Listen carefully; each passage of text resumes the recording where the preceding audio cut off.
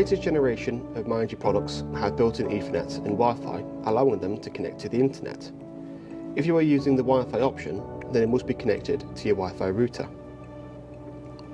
On the myenergi product, go to Other Settings, Internet, Wi-Fi, Wi-Fi Configuration.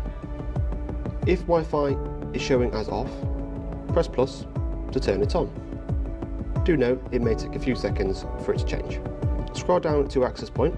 This should be on by default, but if it is showing as off, press plus, it'll turn to on. Now press the menu button one back to go onto the Wi-Fi menu screen.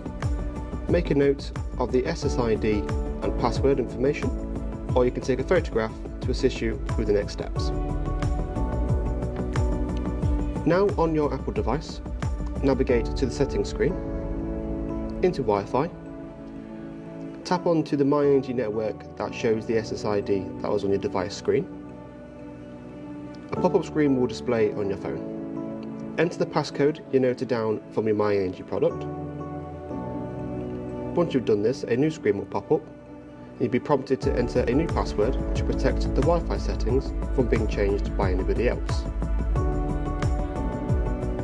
Please note this password must be at least 8 characters long, consisting of a combination of lowercase and uppercase letters and include digits. Make a note of the password as you will need it if you ever need to change the Wi-Fi settings in the future. Wait 5 seconds for your password to change and the web page to reload. Once connected, you'll be directed to the web page as shown. You will now need to select the Wi-Fi network that you want to connect to. Tap onto detected networks and a drop down menu will appear. Select your network and then put the password in the box underneath. Once ready, press connect. Please wait around 15 seconds for the connection to take place. Now that we are connected to the router, we can now check if we are talking to our server. Now your myenergi device is connected to the router and will be able to talk to our server if you have no additional security applied.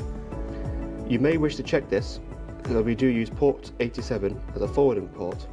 Make sure this is turned on on your router to allow data to reach to and from your myenergi products and our server. Once completed, you will now be online